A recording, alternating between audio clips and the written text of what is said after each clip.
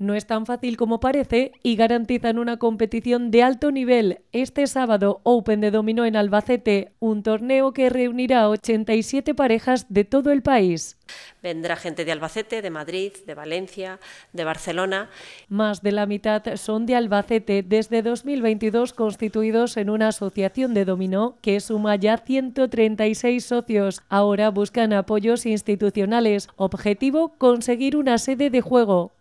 Eh, las 130 parejas y muchas más, pero estamos diseminados en distintas zonas de la ciudad, cada uno en su barrio, en su...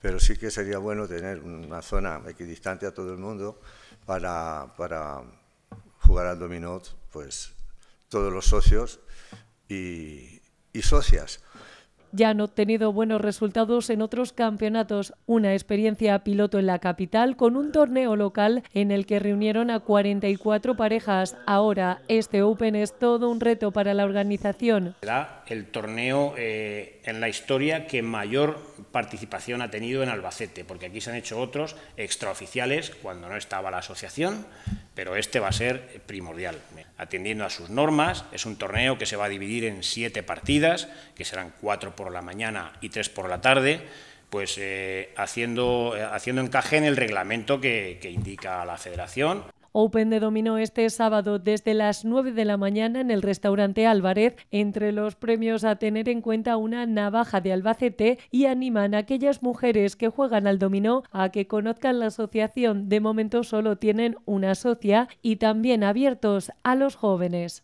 Nosotros podemos jugar al dominó aunque se vaya a la red, aunque haya cualquier de donde sea.